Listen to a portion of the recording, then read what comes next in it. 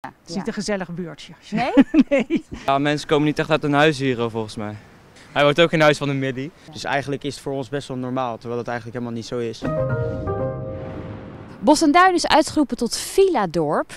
En hier zijn relatief de meeste huizen boven de miljoen. Wel zo 70 procent. Nou, ik ga even een kijkje nemen. Jullie zijn nu in Bos en Duin. Ja, Hebben jullie het nieuws al gehoord? Welk nieuws? Meer dan 70 procent hier van de huizen zijn meer dan een miljoen. 70. Oh, dit. Dat is best wel veel. Dat is fucking veel. Hoe is het wonen hier?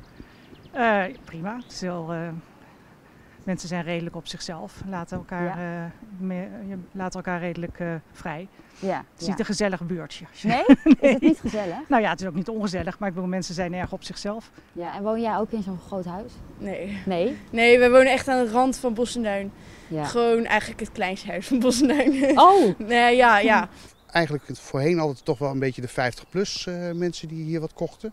Ehm, tegenwoordig zien we ook eh, met name ook wel jongere gezinnen. Dus de, de 35-plussers die eh, Ja. het goed gedaan hebben, die hier met hun kinderen komen wonen. Omdat Bos en Duin eigenlijk tussen de dorpen Zeist en Dolder en Beeldhoven in ligt. Met alle scholen en eh NS-stations, et cetera. Maar gewoon wel rust en vrijheid hier. en dat wordt eigenlijk ook veel door stedelingen wordt dat ook gezien. Bos en Duin ligt natuurlijk wel in het midden van het land onder de rook van Utrecht. Dus een hele gunstige ligging ten opzichte van alle faciliteiten, steden, uitvalswegen.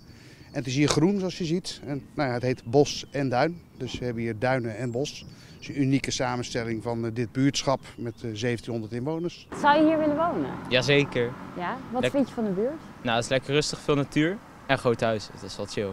Ja, ja, want als je zo hier een beetje kijkt, wat, wat zie je dan om je heen? Nou, vooral eigenlijk bomen en dan achter die bomen zitten allemaal huizen. Dus eigenlijk een beetje verscholen zitten die huizen. Ja, Ik heb wel gehoord altijd als we hier langs fietsen, is zo'n heel erg goed beveiligd huis. oké. Dat weet ik wel. Dat is met allemaal hekken, camera's, alles. En wat voor mensen trekt deze buurt aan? Vooral mensen die eh, ehm, veel ruimte om zich heen willen.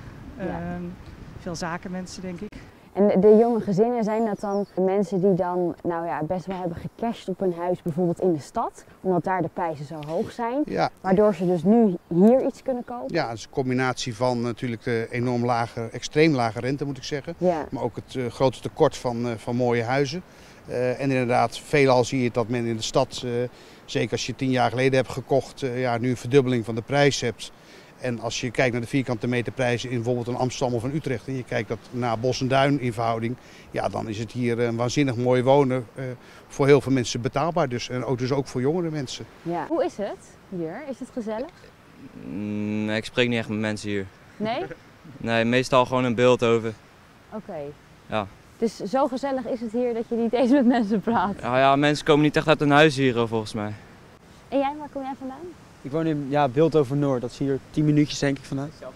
Ja. Wat zei je? Hij is zelf een kakker. Ja, waarom dan? Hij wordt ook in huis van de Middy. Dus eigenlijk is het voor ons best wel normaal, terwijl het eigenlijk helemaal niet zo is. Nou, iedereen Vespa, weet je wel, eh, polo's en zo. Het is gewoon wel een beetje standaard kakker. Ja. En doen jullie daar ook aan mee? Nou, nee, ik heb zelf al net nieuw een scooter gekocht, maar dat is geen Vespa, veel te duur voor mij. Oh, jij bent een beetje pauper. Hè? Ben jij een beetje pauper? Ja. Hoe zien jullie de komende jaren eh, voor je? Nou ja, als je ziet dat in 2013 was het laagtepunt in de markt hier. Ja. Toen zag je dat hier een vijftigtal huizen ongeveer te koop stonden. Dat is extreem veel. En nu dus zeven. Ja, het probleem eh, is eigenlijk dat er veel te weinig gebouwd is en veel te weinig gebouwd gaat worden de komende jaren. Dus de druk op de bezaarde woningvoorraad zal alleen maar door eh, toenemen. Dus jullie denken niet door de crisis dat het... Nou, het is tegenovergestelde gebleken, ja. Maart vorig jaar de COVID dachten we, dan gaan we weer met z'n allen. Ja, Maar als je nu ziet wat de druk in de markt is, de vraag ernaar is. We hebben net om de hoek een huis verkocht eh, van eh, rond de 1,4 miljoen. Ja, daar staan er gewoon 30 eh, bezichtigingen op. zo. Dus dat is veel. Zou jij hier willen wonen? Laat het even weten hier beneden in de comments. En tot de volgende keer weer. Doei!